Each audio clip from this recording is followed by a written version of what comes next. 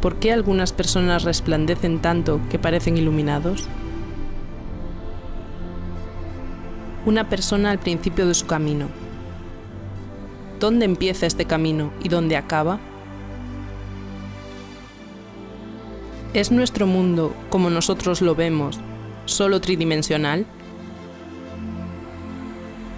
Muchos hablan de un universo multidimensional.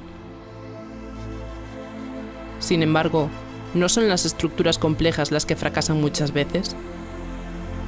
¿La solución se encuentra a lo mejor en un descubrimiento muy simple? Esto es el interminable lazo de la vida, la perfección del ocho acostado con su continua vuelta al punto de intersección entre nacimiento y muerte, el espacio de la luz.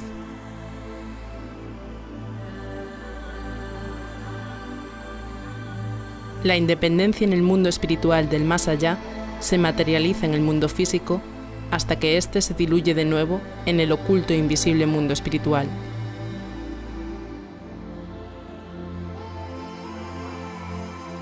Una circulación energética inagotable, en un sistema perfecto. Lo humano y lo divino se funden proporcionándose fuerza y espiritualidad. Por siempre jamás.